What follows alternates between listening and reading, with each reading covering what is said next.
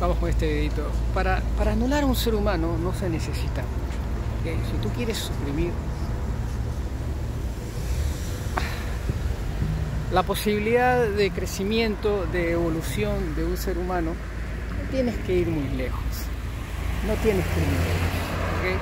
Basta con que le quite su capacidad de acceder a la propiedad privada para que lo empieces a liquidar, ¿ok? ¿Qué es lo que sucede?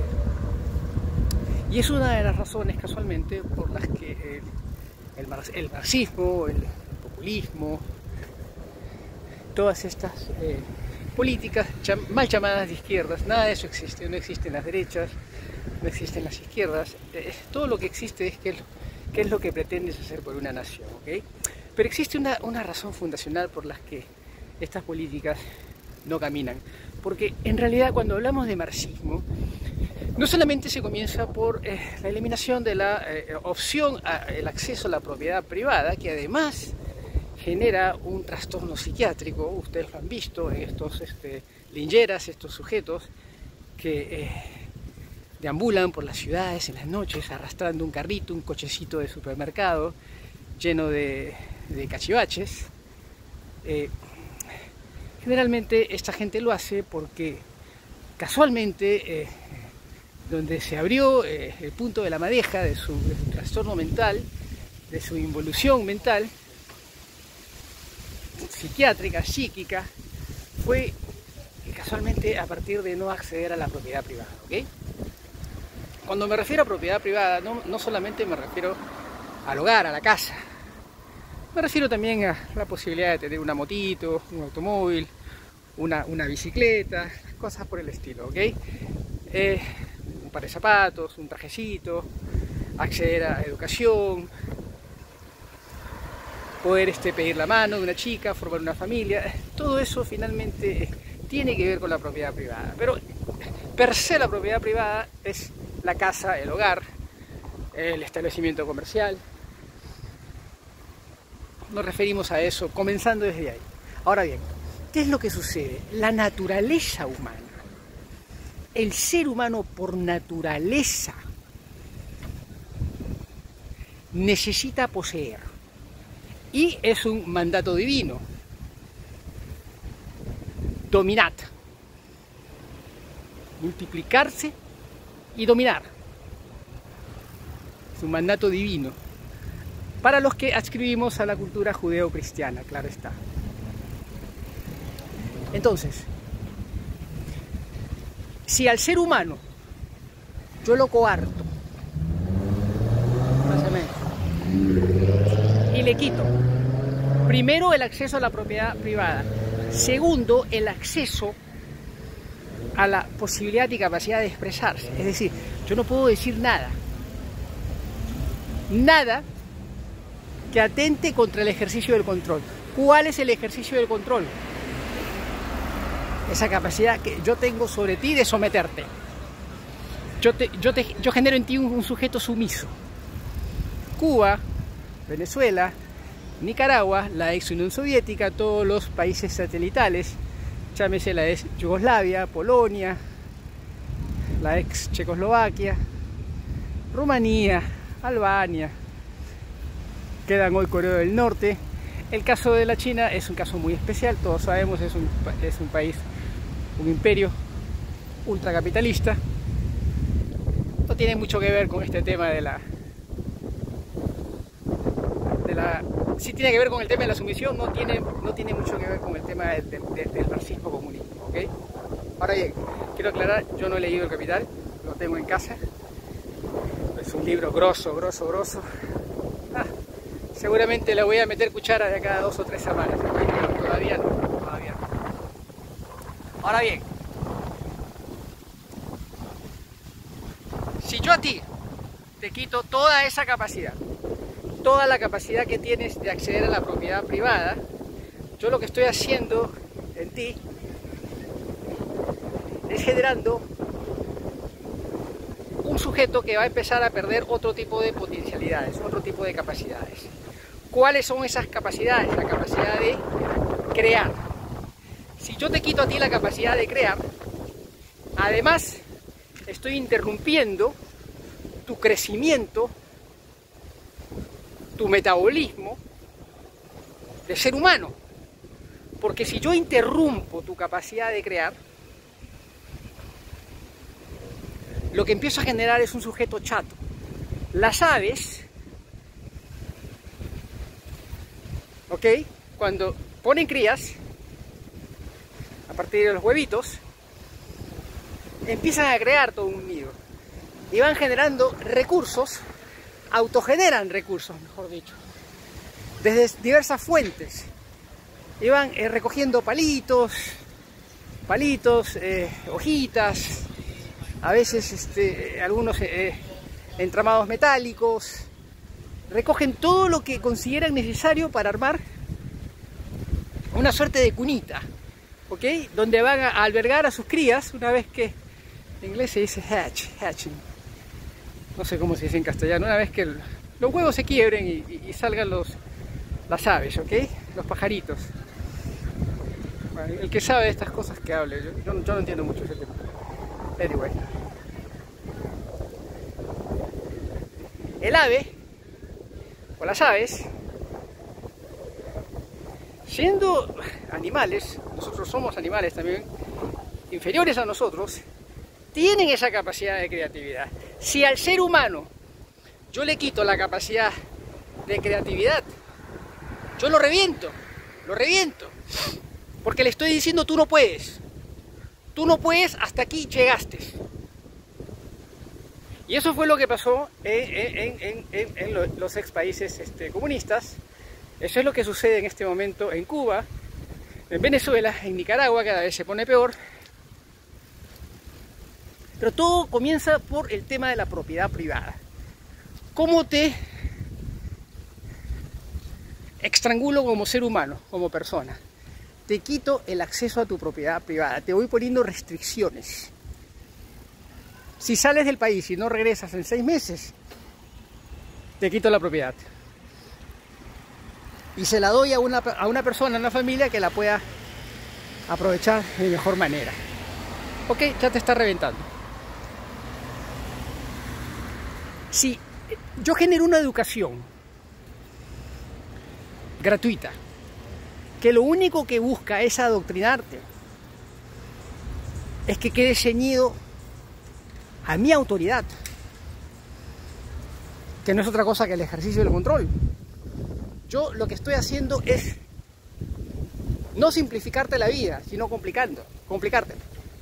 Porque si la única opción que te doy es la educación que yo te puedo impartir, ya te reventé.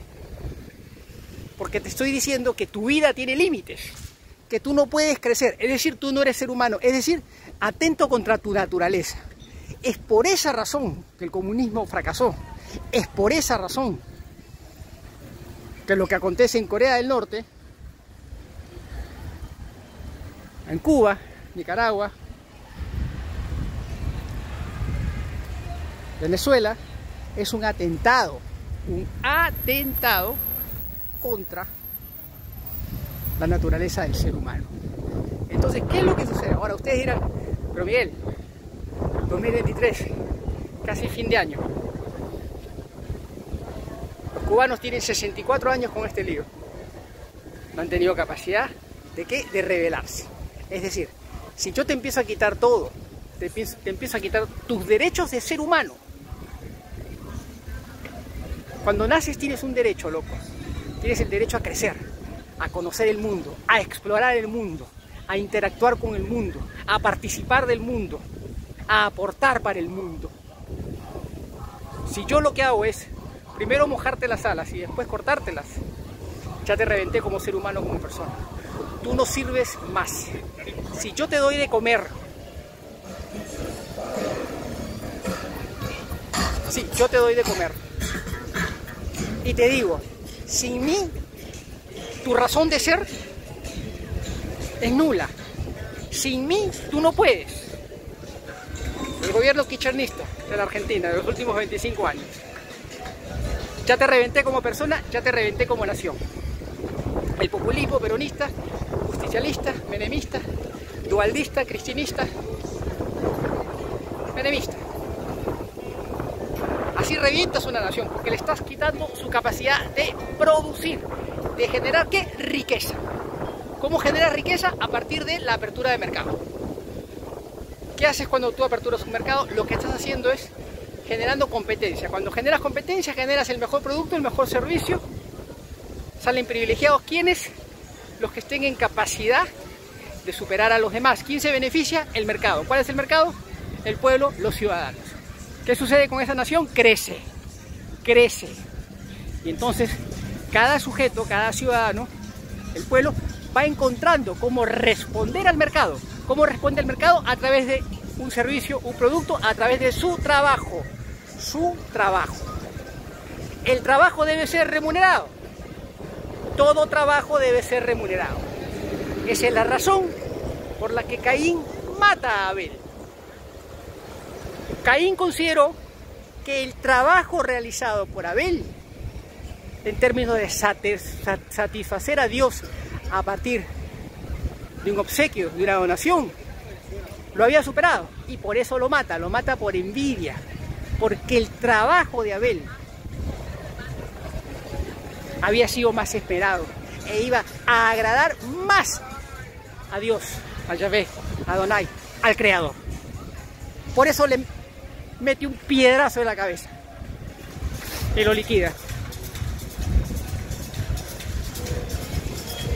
El ser humano necesita, es un sine qua non en su vida, necesita de manera urgente, dale maestro, de manera urgente estar en capacidad de crecer, de generar, de producir, de compartir. Ven acá a pasar una parejita. Van allá adelante. Y me saludó y me saludó con, con mucho gusto. ¿No? Tú estás haciendo lo tuyo, nosotros estamos haciendo lo nuestro, somos felices, pero no puede haber un gobierno que los controle a ellos o un gobierno que me controle a mí. Si los controlan a ellos que van adelante y me controlan a mí, nos reventaron a todos juntos, nos hicieron mierda. Ese es el comunismo. Yo te quito lo poco que tienes, que es lo que tienes tu libertad. Es por eso que yo adhiero, siendo monarquista, republicano, con fuertes tendencias libertarias, adhiero a la propuesta libertaria. ¿Por qué? Porque mis derechos terminan donde comienzan los de los demás. Tú puedes hacer lo que quieras con tu vida, no hay ningún problema. Tienes todo el derecho a ser feliz, todo el derecho a ser feliz. Pero nada de lo que tú hagas puede transgredir los derechos de terceras personas. Ahí ya tenemos un problema. En un gobierno autoritario, comunista, marxista, leninista, troxista, maoísta, gonzalista, y todo ese mejunje. Yo lo que pretendo es controlarte. ¿Cómo te controlo? Te quito primero, desde el vamos, tu acceso a la propiedad privada. Entonces, ¿qué es lo que genero? Genero una sociedad sumisa, genero una doctrina. Lo que genero es una doctrina. ¿Cuál es la doctrina? Respetar una autoridad. ¿Cuál es la autoridad?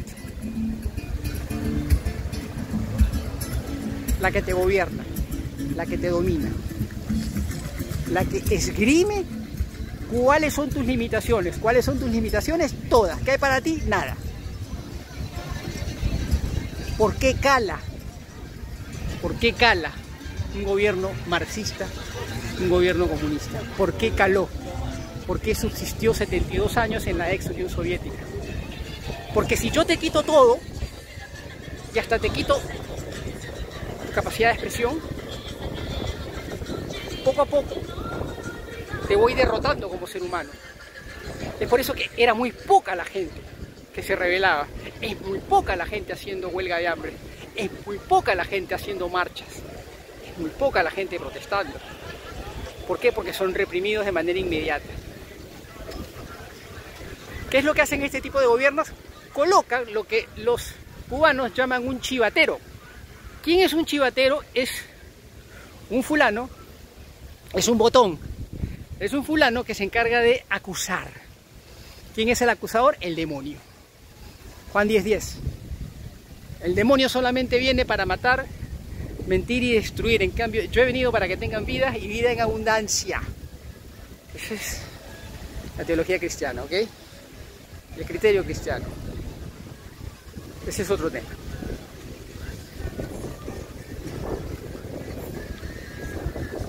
Este chivatero se encarga de reportar al régimen, en este caso el régimen castrista, de los acontecimientos del barrio. ¿Qué acontece en el barrio? Si en el barrio emergiera un conspirador, ese conspirador es inmediatamente liquidado. ¿Cómo se le liquida? Se le liquida quitándole el acceso a la libreta de provisiones. ¿Cuál es la libreta de provisiones? No es otra que la que le da de comer a tu familia, lo poco que le da de comer a tu familia, que no es absolutamente nada, ¿ok?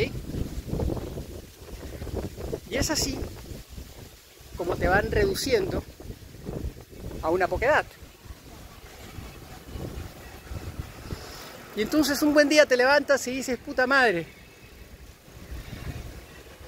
tengo 68 años, no he hecho nada en mi vida y se viene mi cumpleaños y el gobierno me va a regalar una botellita de ron para festejar, para festejar mis 69 años, mierda. Y tú estás contento, estás contento porque ese día no solamente tienes media botellita de ron, sino que además el gobierno te va a dar, te va a asignar una porción de lentejas a un bistec, así le dicen en Cuba al, al un churrasco, un bistec, es un, es un churrasquito fino, por supuesto, ¿no? Fino, fino me refiero a, a que no es grueso, es fino, es finito, casi una telita, ¿ok? Te asigna una pequeña porción de arroz además y como te has portado bien y ha sido un buen año en el que no has sido reportado por ningún chivatero, te asignan además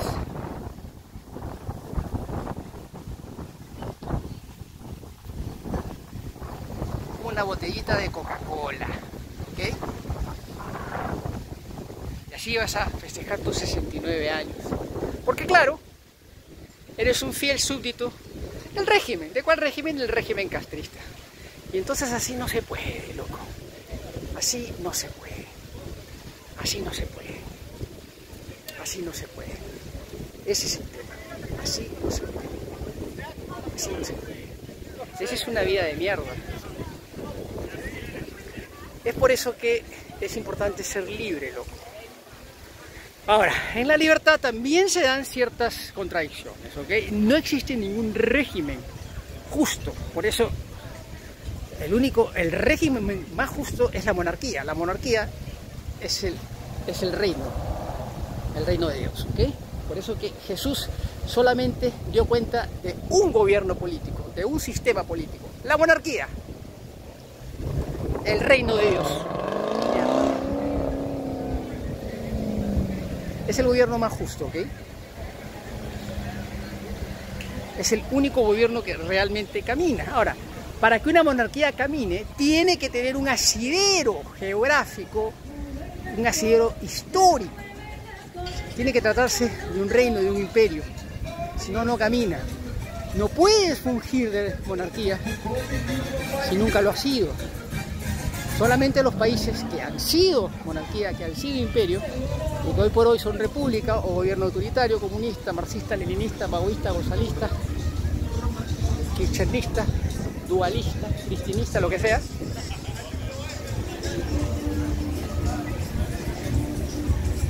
Tienes que haber sido imperio.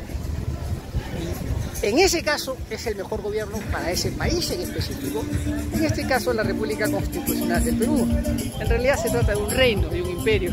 Pero se ha calzado una camiseta de república que en realidad no le sienta bien. No es su talla. te das cuenta cuando algo no, no, no, no te calza bien. Te pones un pantalón, un par de zapatos, que no te calza, loco. no te calza. Lo que pasó con la Selección Nacional de Fútbol de Perú, le clavaron esa camiseta maratón y no le calzaba, no le calzaba, no era una camiseta para la videna. Y vinieron sendas derrotas. Es una estupidez lo que estoy diciendo, pero eres o eres, loco. Si una camiseta no te calza, no te calza, loco. Así de simple. No era una camiseta para la Selección Nacional de Fútbol. Marca nacional, Umbro, Adidas, Nike, lo que sea, pero no, no, esa marca. Es un prejuicio en realidad, pero...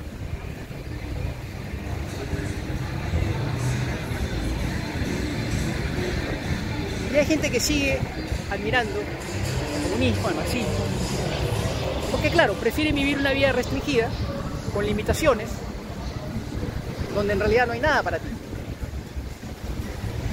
Hay mucha gente que está contenta cuando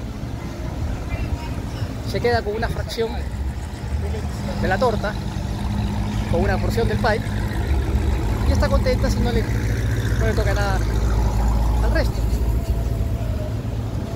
¿Qué es lo que sucede con muchos intelectuales comunistas? Estos intelectuales comunistas viven de pensiones universitarias, porque son profesores universitarios, y entonces generalmente arrastran esta ideología comunista y adhieren a estos partidos mal llamados de izquierda. Nada de eso existe, ¿ok? Todo lo que existe es tu capacidad de producir en la comunidad. Todo esto que ven ustedes acá, miren, este es el famoso de mangos, muy popular en la ciudad de South Beach, ¿ok? Es tu capacidad de producir.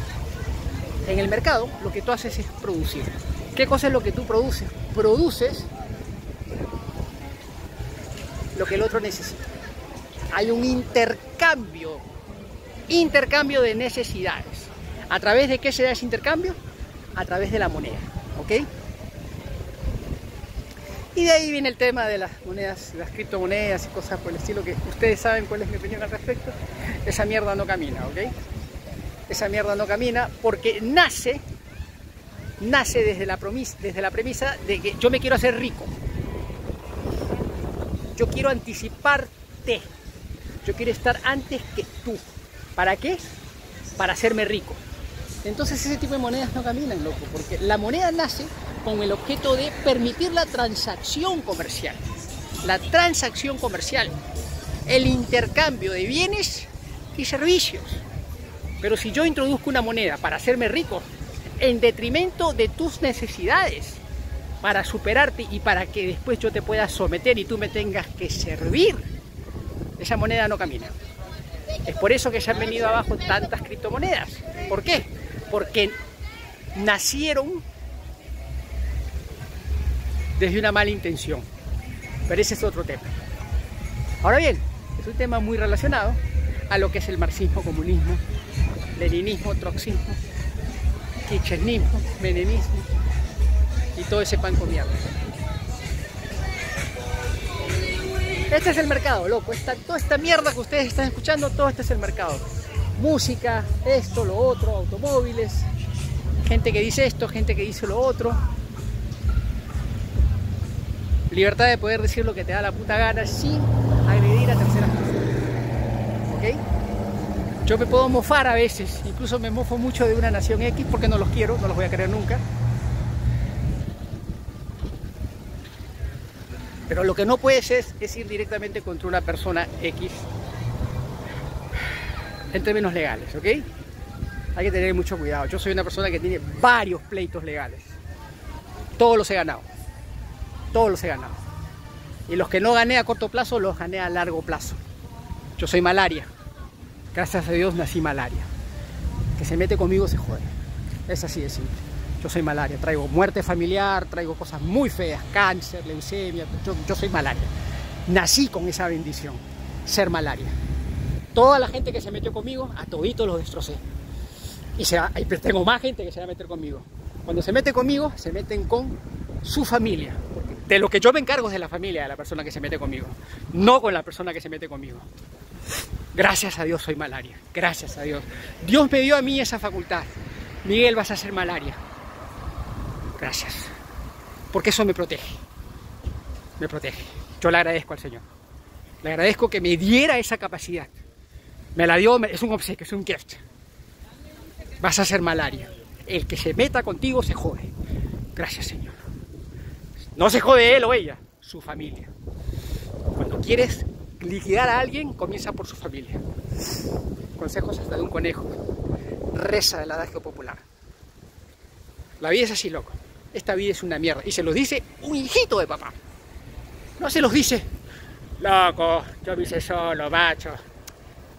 Ven, me hice de la calle, conseguí este trabajo, puta, me compré ese automóvil, me compré un departamento, me casé, puta, puse mi negocio, esto. No, no. Yo soy un hijito de papá. Hijito de papá, loco. Pero me trae el sapo solo. Eso sí. El sapo me lo trae solo. Pero mi viejo me pagaron toda la educación a vivir por haber, lo mejor.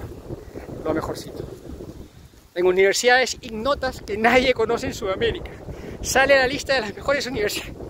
Puro pan con mierda. Puro pan con mierda. La universidad la mejor universidad de Sudamérica está en la Argentina. Nadie la conoce. Muy pocos la conocen. Anyway, eso no importa.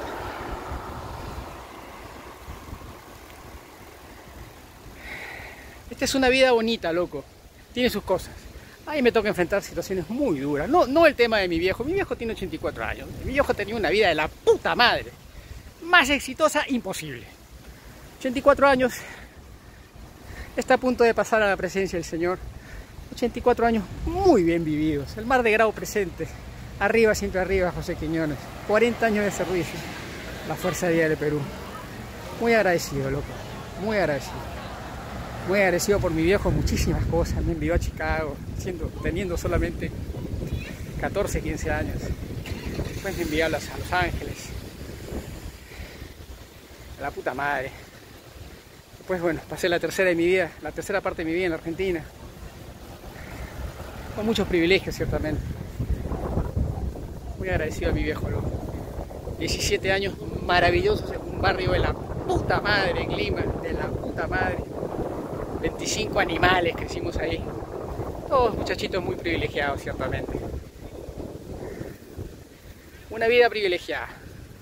Yo le estoy muy agradecido a Dios todo lo que me ha dado. Me ha dado cosas maravillosas que no hay forma, no hay forma, no hay forma de reciprocarle. Así se dice, loco. Hacía mucho, mucho tiempo que no escuchaba ese término.